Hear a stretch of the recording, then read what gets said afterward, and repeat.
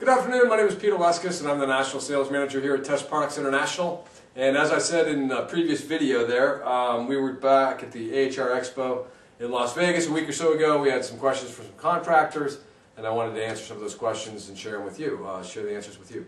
Um, one of the things I get asked a lot is how people can check for combustible gases, um, actually for safety reasons for their crew, um, as a personal safety monitor, as they're walking around in a job, um, inexpensively. And this particular unit, our model 725, is in fact um, that item. It's a, it's a small personal um, combustible gas uh, leak monitor.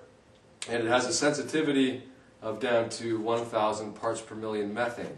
Um, it actually has gra a graduated scale. Um, at the first level, it's 1,000 parts per million methane or equivalent.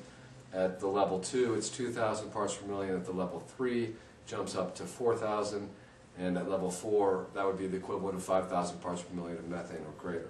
Um, but, this, but the unit's very simple and easy to operate. I just turn the unit on, pull off the safety cap, turn the unit on.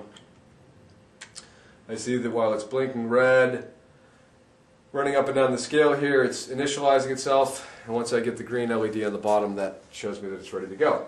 Um, at this point in time, I could clip it onto my shirt, or maybe I got a shirt pocket, which would be a little more handy for something like this. I could clip it onto my shirt here if I wasn't um, so athletically challenged, I guess. You got to take my word for it. This would this actually works. Um, or I could clip it on my belt or my pocket, excuse me, and I could walk around it with it like this. Um, and then, in order to make sure, or to, you know, one of the easy ways to tell that a combustible gas leak detector is always working is to occasionally check it um, with a with a lighter. So I shoot that with gas. You can hear the instantaneous response. It beeps and lights up at you and lets you know that, that there's a safety concern. Um, so real simple, easy to use. It's got a uh, three-year warranty on it. This particular model does.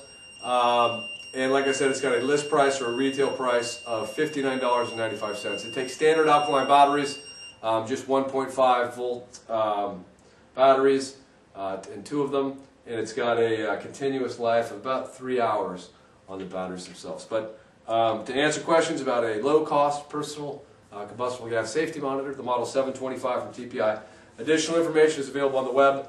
You can visit us online at any time, www.testproductsintl.com, or you can certainly give us a call. We can give you the name of a distributor in your area uh, where you can find TPI products. That telephone number again is 1-800-368-5719. Thank you.